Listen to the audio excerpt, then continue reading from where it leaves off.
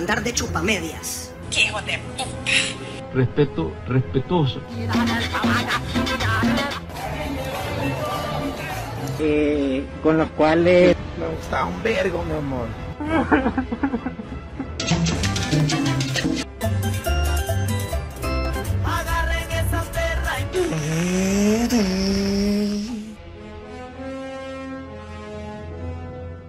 Muy bien, en este diario la primera parte de los momentos más peludos del mes de julio para aprovechar las vacaciones, así que sin tantas babosadas de mole con todo. Ahora, ¿con qué pendeja pendejada me vas a salir? Muy bien, empecemos con la señora que siempre nos sale con sus ridiculeces y esta vez salió a decir que son más peligrosos los policías que los angelitos y que cada vez que un policía le dé en la nuca a un marero también debería ir preso. El policía que en el uso del ejercicio de su trabajo, en el uso proporcional de la fuerza, ¿qué es el uso proporcional de la fuerza? Que la policía responda con la misma fuerza con la que es atacada si el policía le quita la vida a un ciudadano delincuente o no, debe de ser procesado. Si, el policía le quita la vida a un ciudadano delincuente o no, debe de ser procesado. ¡Esta perra está loca! Y en el mes pasado la Karina Sosa salió a decir que ella detesta a las personas que usen el descontento y el odio de la gente para llamar la atención. O sea, las marchas que esos cerotes hacen, siempre lo hacen con personas tranquilas, ¿verdad?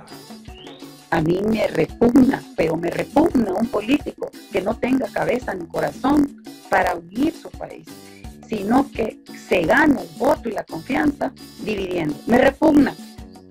Es que por sí sola esa acción habla pésimamente mal de una persona que no tiene cabeza y mucho menos corazón. Y ese tipo de personas son las que arruinan la política. Porque... Ah, oílo, como dijo.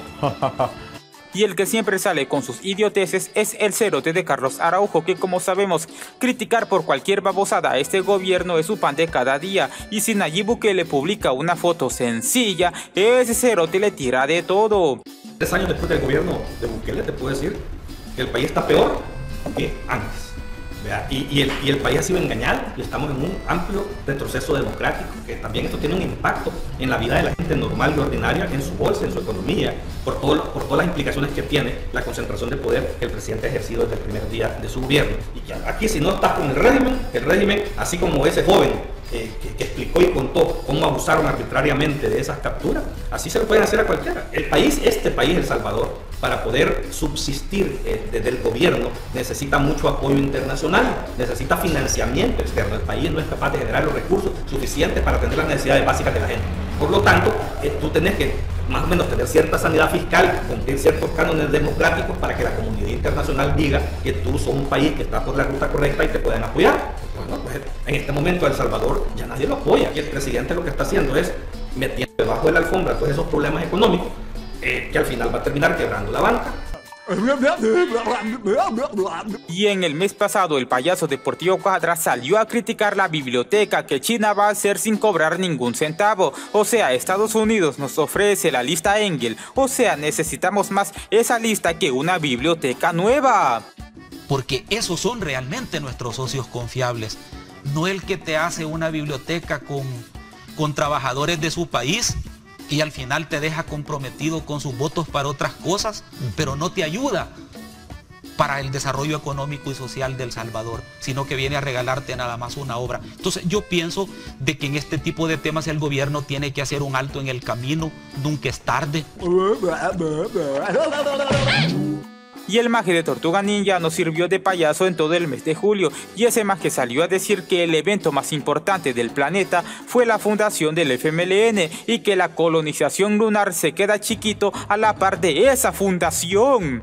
Y como yo siempre he dicho, más allá de las dificultades y de la situación compleja que vivimos, eh, vamos a seguir luchando. Vamos a seguir luchando como siempre lo hemos hecho, que es característica de nuestro partido del FMLN, que hoy está cumpliendo en este año 41 años de vida, nacido allá en en el mes de octubre de 1980. Y sin duda alguna el FMLN se ha convertido en, el proyecto político eh, de mayor trascendencia. Eh, yo diría que solo el acontecimiento de la independencia del país, cuando se rompieron las cadenas con, eh, con el Reino de España, no hay otro acontecimiento más importante. ¿Qué pendejadas están diciendo? Y el mes de junio lo terminamos con el caso de los tres policías fallecidos en un enfrentamiento, pero el mes de julio lo empezamos con la captura de esas lacras y afortunadamente le dieron en la nuca a uno. Estas personas que están acá ya iban en camino para, para Guatemala. En el lugar donde fueron intervenidos, en ese lugar, la misma población nos ha colaborado y nos ha ayudado para decirnos que estas personas estaban encaletadas en un lugar donde les estaban dando protección y iban directo para Guatemala. Lo que yo quiero aprovechar y decirles, nosotros estamos en todo el territorio nacional. En las intervenciones vamos a respetar siempre los protocolos de actuación. Si ustedes pueden ver, esta persona que está al lado derecho, mío, el que está tatuado, él es el líder de esta cancha y está vivo. Está vivo porque no levantó arma. El que está muerto es porque levantó arma. Lo que le explicaba el ministro. Aplauso, por favor. Y sí, señores, esos majes ya estaban planeando salir del país en un acto de valentía, según los cerotes de Arena y el FMLN, porque para ellos, todos los que huyen del país por miedo lo hacen por culpa de Nayib Bukele. Estaban esperando que la 18 sureña de Guatemala llegara por ellos. Ya, estaban ya planificando su, su cobarde huida de la justicia salvadoreña en ese momento pues en este día los, los logramos intervenir. Hombre, perro, hombre, ¿cómo te vas a entregar? Puta, esa es la peor pendejada que puedes hacer si sabes que te van a hacer verga también, hombre. Aguantala, hombre. No ya andamos viendo eso, pues mira, pues, si no yo les voy a mover unas varas, hombre, para que se suban, pero de una vez, carnal, porque si te agarran te van a matar, pendejo. Por lo mismo no te metas en el alucín y te ahueves en el sistema de que vamos a hacer las ondas bien, carnal, las vamos a hacer bien. Vos solo tenés paciencia, tranquilo. ¡Qué vergüenza! Y aquí vamos con el caso de las lluvias, que como sabemos, a finales de junio las tormentas eran nuestro pan de cada día y en los primeros días de julio tuvimos inundaciones por culpa de Nayib Bukele, así que será invierno o lluvias.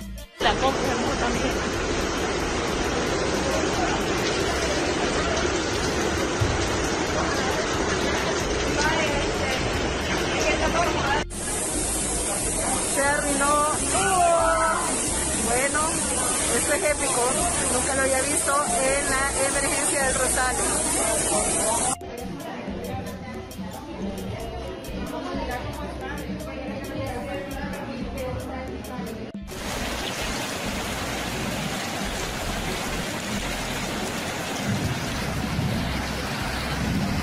Nos encontramos en la colonia Santa Lucía en Ilopango. Las fuertes lluvias registradas hace un par de minutos han generado estragos acá en este punto. Lo que observamos es la calle que básicamente está inundada por las eh, torrenciales lluvias, por lo tanto los equipos del Sistema Nacional de Protección Civil se han activado de manera preventiva y han decidido cerrar los accesos para este punto. Todo terminó, señores. No tenemos escapatoria. Y esta señora salió a decir que en El Salvador estamos pasando por momentos peludos y que todos nosotros estamos sufriendo por el régimen de excepción y que todos los hermosos pandilleros están perdiendo sus derechos humanos. En El Salvador estamos enfrentando enormes problemas de derechos humanos. Eh, hemos documentado el estado de excepción que adoptó el gobierno, después del cual se adoptaron una serie de leyes eh, que limitan derechos humanos y le dan poderes exorbitantes a la autoridad. En la implementación de estas leyes, lo que han hecho es cometer todo tipo de abusos en contra de individuos que nada tienen que ver con las pandillas. Eh, y todo esto eh, está ocurriendo en un contexto donde el gobierno ha tomado las cortes, tomado el poder legislativo y no hay eh, independencia judicial, no hay instituciones independientes en pie para ponerle un freno. ¡Cállese, señora! ¡Váyase a la mierda! Y yo creo que la señora que vimos anteriormente es hija o amante de Sigfrido Reyes porque al mismo tiempo ese cerote salió a decir lo mismo, o sea que en El Salvador estábamos más tranquilos con el FMLN en el poder y que antes habían bastantes libertades para ellos y para el pueblo. Y no está mejor que antes, el país está mucho peor que antes en todos los terrenos. Eh, no solamente el terreno económico, donde hoy hemos podido comentar algo, el país es ya un caso de estudio, pero en un caso de estudio como cuando estudiamos el caso de Singapur o el caso de Malasia, eh, o el caso de Corea del Sur, o el caso de China, como casos de estudio para aprender a hacer las cosas bien. Eh, somos casos de estudio justamente en el sentido contrario, de cómo no se puede gobernar un país de una forma tal que lo lleve al fracaso, al barranco, que es donde prácticamente han empujado nuestros países.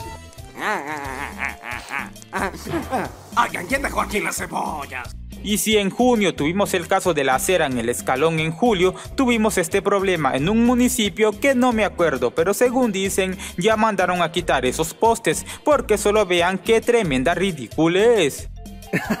Hasta parece que midieron la acera para ponerlo exactamente en el centro del poste. Me etiquetaron mucho en estos nuevos postes. Y pues como andaba cerca, aquí estamos para entender todo. Veamos. Veamos esta sección iluminada. Primero, qué angosto. Me invita la acera a rebajar 40 libras para poder pasar. Incómoda morir. Segundo, el tipo de poste. Si se fijan son de los que tienen tres luminarias. Estas son adecuadas para escenarios muy abiertos que necesitan mucha iluminación. Para esos espacios son mejores de una sola unidad y son el triple de baratos. Pero bueno, testeando. Si se fijan, el confort de la acera es bien mínimo. Aquí me tengo que pandear para poder pasar. Pero bueno, y parece que van a instalar más acá. Me imagino que los colores definen si es maceta o poste.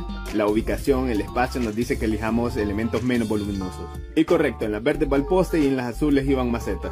Pero bueno, y pues veamos exactamente, es súper incómodo. Aquí después se van a quejar que la gente camina en la calle y ni lo vean político. Esto es infraestructura pública y el poste no me va a estorbar menos porque lo hizo X o Y partidos. ¡Qué vergüenza! Y no sé cómo va el caso de Roy García y su candidatura, pero según ese cerote, la reelección es lo peor que le puede pasar al país. O sea, es lo peor que a ellos les puede pasar, porque en el 2024 ni cosquillas le van a hacer a Nayib Bukele. La reelección, señores, de acuerdo a nuestra constitución, mientras no se haya cambiado, no es delito que yo lo diga. Pero de acuerdo a nuestra constitución, la reelección es prohibida, prohibida en nuestro país. Y hay sanciones hasta para las personas que proponen e impulsan una reelección. Mientras la constitución no haya sido cambiada, la constitución política... A mí me vale verga. Y cómo olvidar cuando el cerote deportivo Cuadra salió a decir que Arena vive en nuestros corazones, porque ellos nos regalaron la paz que tanto buscábamos, pero por culpa de Nayib Bukele lo hemos perdido. Arena se logró la paz en el país. Con Arena se permitió que El Salvador tuviese una relación importante con la eh, comunidad internacional y con nuestro socio comercial, el gobierno y pueblo de Estados Unidos. Muchísimas cosas se hicieron en los gobiernos de arena que la narrativa millonaria del gobierno trata de ocultar, pero que en el corazón y en la mente de la gente sigue existiendo el republicanismo, el paz, progreso y libertad para el país. Porque tú lo digas, vete a tomar por culo, hombre. Y ese maje también salió a chillar al igual que Roy García, porque según ese maje ellos van a competir si las elecciones son libres, o sea, nadie los está deteniendo, pero para ellos elecciones libres son cuando ellos ganan. La elección que tenemos en el 2024 no es cualquier elección.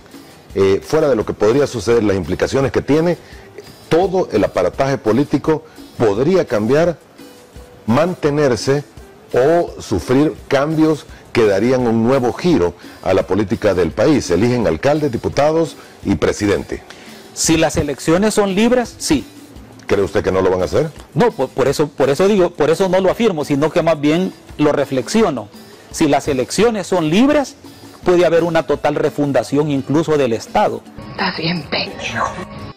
Y en las confesiones peludas del mes de julio fue cuando Rubén Zamora salió a decir que los señores gringuitos son los que financian, deciden y dan orden para dar golpe de Estado a quienes no les besen las patas. Sí, porque, había, porque ha sido tradicionalmente los golpes de Estado los da la Fuerza Armada. Y recuerde que Estados Unidos con los países de Centroamérica históricamente ha sostenido dos tipos de relaciones una con el gobierno, Ministerio de Relaciones Exteriores, presidente y todo eso, vea, muy, muy La sana, diplomática. La diplomática, pero de ahí su relación directa con las Fuerzas Armadas. ¿eh? Incluso, incluso, eso en la Fuerza Armada ¿m? creó la imagen que si los norteamericanos, el gobierno norteamericano no estaba de acuerdo, iba a fracasar el golpe de Estado. Vaya, vaya, hijo de tu puta madre. Y en el mes pasado tuvimos el corrido para Nayib Bukele, que fue cantada por Don Pedro Rivera, que a estas alturas creo que ya casi llega al millón de reproducciones. Así que dejen en los comentarios qué les pareció ese tema. Don Pedro me dice que ya no está cantando por ahorita las mañanitas, ahorita está componiendo corridos. Sí. Y le compuso un corrido al presidente de El Salvador. Así es. ¿Y cuándo lo vamos a tener? ¿Cuándo lo vamos a escuchar? ¿De qué se trata ese corrido? El presidente de, de El Salvador es el que ha hecho cosas diferentes, que no prometió muchas cosas, pero sí que está haciendo cosas que el pueblo esperaba que hiciera. ¿No les parece eso curioso? Y ya casi llega el momento en donde Ronald Umaña va a presentar a Javier Simán como su candidato y según ese maje, ellos lo están haciendo sin fines de lucro. Pero la pregunta es, si Javier Simán está tirando su dinero en apoyar a esos payasos. Curso. Yo lo que dije que estábamos preparando un viaje de nuevo con la diáspora que nos han pedido allá para septiembre a California. Y dije que Javier Simán nos había pedido viajar de, de Washington, él vive en Washington, ¿verdad? Él es perseguido político, por eso vive allá. Él iba a viajar y que quería que le diéramos una ponencia, quería hablar sobre el Bitcoin. O sea, en la conferencia que íbamos a dar Miguel Fortín Magaña y yo, eh, quería él un espacio y le dijimos que sí. Eso fue lo que yo dije. Estás bien pendejo. Y a estas alturas la Karina Sosa ya estaba dando aires de que está ingiriendo algún tipo de bebidas que la hacen decir este tipo de babosadas. O sea, pero si no está bebiendo ese tipo de cosas no le hallo explicación a esto. ¿Por qué digo esto? Porque aunque no tenemos la cantidad de funcionarios que tuvimos en un momento determinado, lo que sí tenemos es ganas de trabajar. Lo que sí tenemos son ideas. Aquí sí hay ideas. Y hay sentimiento, conexión con el pueblo. Conocemos la realidad del pueblo, la sentimos, nos duele y actuamos. Y aunque no somos los que éramos antes, la cantidad de funcionarios que éramos antes, pero estamos trabajando por la población. Porque tú lo digas, vete a tomar por culo, hombre. Y en junio fue cuando el cerote de Julio Olivo salió a decir que en el país deberíamos hacer un golpe de estado, pero según ese maje, la gente sacó de contexto lo que ese cerote dijo. O sea, ese cerote ni se había dado cuenta que ya estaba al aire. La situación que tengo de que me están persiguiendo y, que me acusan y que hay un aviso en la fiscalía, algo así como tener la espada de Damocles, ¿va? De Damocles, eh, la tengo en el cuello, ¿verdad? Eh, no puedo estar opinando, ya no puedo ir más allá, pues, ¿verdad? De esas apreciaciones que yo les estoy eh, señalando, porque en cualquier momento pueden activar la maquinaria que tienen y, y- e iniciar en la Asamblea Legislativa mi proceso de desafuero, que de hecho me habían amenazado con que en estas últimas sesiones más de alguna gente la iba, iba a presentar mi desafuero, porque eso es lo que han señalado en el aviso. Yo esperaría más cordura, ¿va? ¿Ya? Y no locura. A mí se me hace que eres marica. Y este suceso va a tomar importancia más adelante, porque como sabemos en el país muchas personas están agarrando de los pelos y pelean por cualquier babosada, o sea, son personas completamente intolerantes. Ahí viene la bocarroncha, hijo de lancha.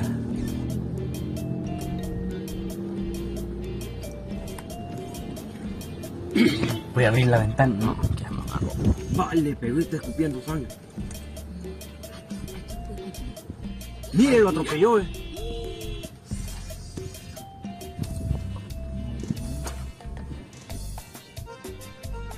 Ahí está, eh. Se lo llevó. Se lo llevó. Ya valió madres entonces, ¿eh?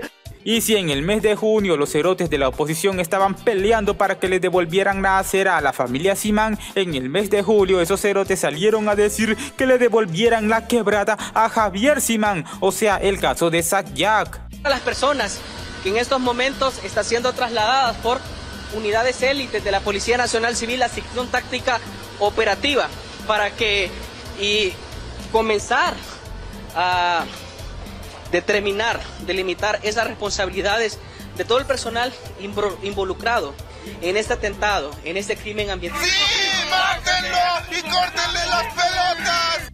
pero amárrense la tanga porque la mejor parte del mes de julio fue cuando los de KFC le prestó dinero al país, o sea, aparte de restaurantes de comida rápida, ahora le están ganando el puesto a los del Banco Agrícola y a los de Fede Crédito. Incluso las asambleas legislativas pasadas no venían y no hacían cosas. Yo quiero decirles, colegas diputados, el 20 de en junio del 2020, la Asamblea Legislativa que tanto ustedes critican les aprobó un préstamo de 27 millones con el KFC. La Asamblea Legislativa, que tanto ustedes critican, les aprobó un préstamo de 27 millones con el KFC. Chale, ya la cagué. Y como les dije, el caso de la gente que se está dando en el hocico es por culpa de Nayib Bukele, según la Karina Sosa. Y según esa maitra, este tipo de pendejadas no se miraban en los gobiernos del FMLN. No, señores, todo era paz y amor que esté consumiendo odio, división, chantaje, mentira, calumnia, difamación y que esté buscando confrontar, usted ve ya las expresiones que hay, no solo en política, de eso que está consumiendo de manera constante en un bombardeo mediático el pueblo salvadoreño. Usted ve cómo ahora agarran personas jóvenes a patadas, adultos mayores en el tráfico, cosas que no se veían antes, pero como hay reflejos de que la prepotencia es la reina de cómo se deben hacer las cosas, lo está consumiendo la sociedad, lo está consumiendo la población salvadoreña.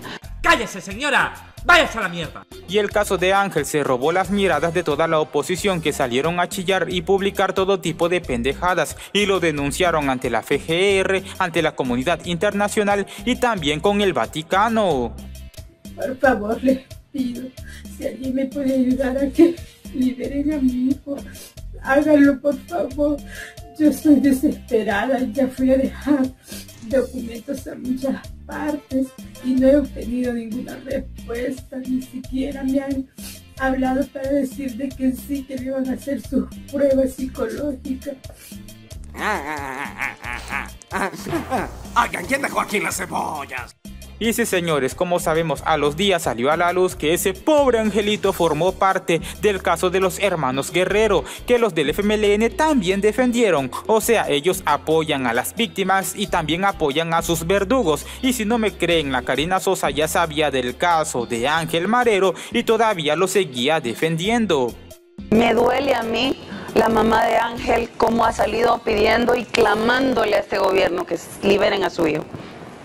Solo falta meterse a Twitter y darse cuenta. La señora ha hecho un video llorando.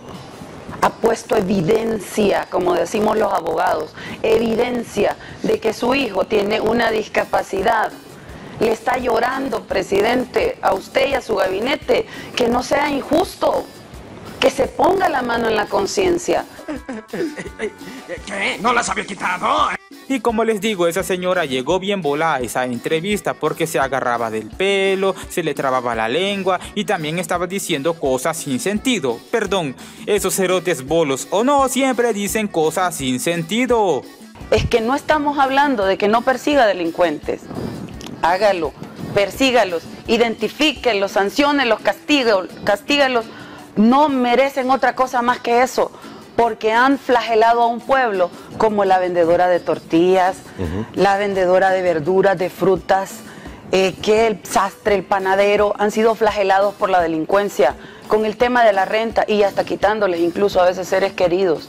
Y eso no puede ser, eso debe acabar en este país. ¡Oye, Calamardo! Y el payaso de Ronald Omaña salió a defender al payaso de Oscar Ortiz y también a Julio Olivo, diciendo que lo que ellos querían decir es que si Nayib Bukele es reelegido democráticamente, ellos le van a dar golpe de Estado. Oscar Ortiz jamás ha hablado de golpe de Estado al presidente Bukele, oye, nunca. Oscar Ortiz lo que dijo que el presidente Bukele si se quería reelegir, eso era un golpe de Estado. Él trató, lo que pasa es que no lo explica bien. Lo mismo sucedió con el señor Olivo. Oliva, es verdad. Ah, bueno, pues a él le, le tergiversaron lo que él estaba hablando. Claro, los troles y el gobierno y el, el equipo de propaganda del gobierno siempre tergiversan las cosas que uno dice. ¡Un pendejo! ¡Un pendejo! Y en Santa Tecla, unas personas que no residen en este país llegaron a tirar basura a un lugar prohibido y según ellos, las otras personas también lo hacen. Así que después, el culpable de las inundaciones es Nayib Bukele, ¿verdad? Imagínate, nosotros limpiando y la persona llegó con varios eh, pick a botar basura. No solo hicimos que levantaran toda la basura que habían tirado, ¿verdad? Que casualmente, o, o- o gracias a Dios que andaban ustedes No ahí, era, la prim- no era la primera vez. Sí, ¿Sabes, ya- qué- ya- ya sabes qué es lo divertido? Que la respuesta que nos dio es que ellos siempre la iban a tirar ahí, ¿verdad? Y que todos los vecinos, ¿verdad? Ellos veían que también la tiraban ahí. ¡Qué vergüenza! Sí, señores, dejen en los comentarios cuál fue su parte más ridícula de esta primera parte del mes de julio. Y como les digo, el año está pasando muy rápido y ya estamos acabando con estas vacaciones y ya solo nos queda esperar Navidad para ver cómo terminamos con estos resúmenes. A mí me vale verga. Pero con esto me despido y nos veremos en el siguiente capítulo. Hasta pronto. El Anonymous 503 te invita a que te suscribas a este peludo canal y que actives la campana. Y si te gustó este video te pido que por favor le regales un like y que lo compartas con tus amigos. Y recuerda también que si quieres apoyar el crecimiento de este canal lo puedes hacer en las distintas plataformas que les dejaré en la descripción. Y también seguirme en mis redes sociales. Y con esto me despido y nos veremos en el siguiente capítulo. Hasta pronto.